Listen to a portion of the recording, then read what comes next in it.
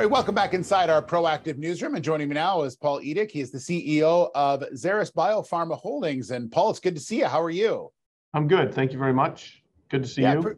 yeah, really interesting company that you have with some interesting products. Maybe you could sort of give us a little background on the company.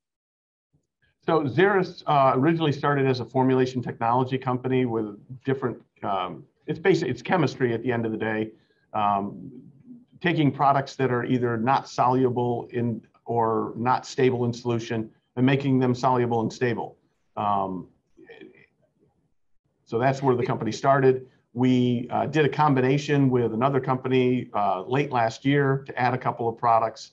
So now we're a um, predominantly a commercially focused organization with three products in the marketplace, three different uh, indications, um, focused on endocrinology and neurology. And then we, we still have some products in development, at least one lead product in development. And our technologies, we're working with several companies on using our technology on their products. So, Paul, is the key to the company, is it the technology itself and, and the, the applications for it, or is it the or is it the products then adding in the technology? Yeah, the you know, if you go back a few years, the, the focus of the company was totally on the formulation technology and formulation chemistry. Um, Post acquisition, we're really a commercial company now with products in the pipeline and technologies that we can leverage. So it kind of switched a little bit, um, which is, you know, was always part of the intent. And part of the intent was to either build or acquire drugs to build a, to build a bigger, better company. Can you talk a bit about you mentioned the products that you have in commercialization right now? Can you talk a bit about them and and and sort of the the market demand for those products? Yeah, so the first product that was launched a couple years ago, and unfortunately has been on the market during a two-year pandemic, um, so really hasn't hasn't gotten to where we would like it to be, is a product called Gvoke, which is a um, a rescue medication, uh, glucagon, ready to use, liquid stable rescue medication for severe hypoglycemia. So, for example, in the U.S., there are seven million people approximately on insulin insulin manages your uh, glucose and it usually lowers your glucose. Um, there are situations where your glucose will go too low and you can eat things to kind of get it back up. But when, when that doesn't work and you're in crisis, you need a rescue medication called glucagon. We now have on the market a liquid stable version of that in an auto injector. Um, so for people who are not familiar with you know, pharmaceuticals, it's like one that you will recognize is EpiPen. It's kind of like an EpiPen for diabetics. Okay, go ahead. And then the second drug um, is a product for periodic peripheral paralysis, which is a very, very rare situation. Uh, takes years before people are really identified in terms of you know having what is called PPP, um, but it is periodic paralysis of the extremities that can get worse over time, and you lose muscle um, um, tone and muscle capability. Very, very hard to diagnose.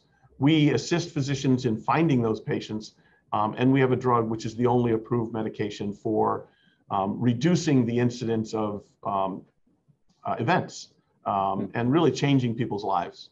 And then the third drug, which was just launched in the end of January, beginning of February, is a drug called Recorlev, which is for Cushing's uh, disease, Cushing syndrome. Um, very, very, you know, rare, very difficult to diagnose, um, but, you know, really an important new addition to physicians' armamentarium in terms of treating these patients because what, what it does is it helps to normalize cortisol. And normal cortisol levels are critical. Um, and it's one of the few products uh, researched, approved, and indicated for normalization of cortisol. Wow. Um, you also mentioned that you have a, a, pipeline as well, and, and one that's one that's sort of at the early stages. What, what's that one looking at? Yeah, there's there's a there's a drug called levothyroxine, which one is one of the biggest drugs kind of in the world, um, and it is an oral medication.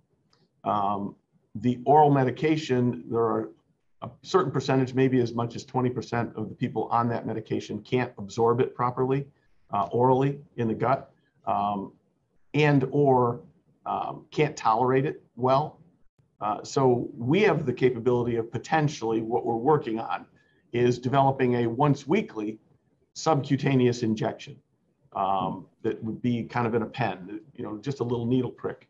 Um, to really deal with getting the drug into somebody's system without having to go through the, the intestinal tract. Um, that would be a significant change for some people. Um, we're not there yet. We're in phase one. There's you know phase four phases of research. It takes years, but we're we're expecting the data on a third dose to know if we have linearity, which would get us a weekly treatment later this year. Um, so if that is positive, then we have a product that we would go to the FDA and propose a further development plan um, to hopefully eventually get it to the market. Okay, Paul, I, I wanted to ask you sort of about sort of the, the future in the next six months to a year, but it, it sounds like what you were saying a bit earlier. It's almost like you, you you almost have to you're relaunching the ones that you already have because of the pandemic and and what that's done for for people in in knowing what's out there, what's available, what they've been suffering with, things like that. It sounds like you almost have to sort of relaunch everything again. I don't know if I'd call it a relaunch. I mean, during the pandemic, as you could imagine, a lot of doctors' offices were closed People yeah. weren't going to doctors' offices. Um, our sales representative, our you know people who communicate with the medical um, professionals, um, were unable to go into offices. So we we reverted in term instead of face to face to this. We reverted to virtual. You know, a lot of Zoom meetings, um, and we were able to continue growing all of the products. Uh, Gvoke has actually been growing quite well. Um, it's you know now that we're hopefully getting beyond the pandemic, um, you know, it's beginning to accelerate, and the market is beginning to accelerate. Um, so, you know, it, more of a re-energizing as opposed to yeah. relaunch. Yeah, and that's the focus, I would guess, moving forward right now. Absolutely. Awesome, Paul. Thank you so much. Great to learn a bit more about you and and and and these uh, these rare conditions where uh, people need help, and it sounds like you're you're hoping to provide them with that help. So great to see you, and uh, really appreciate your time. Thank you very much. Appreciate being here. Yeah, that's Paul Edick, the CEO of Xeris Biopharma.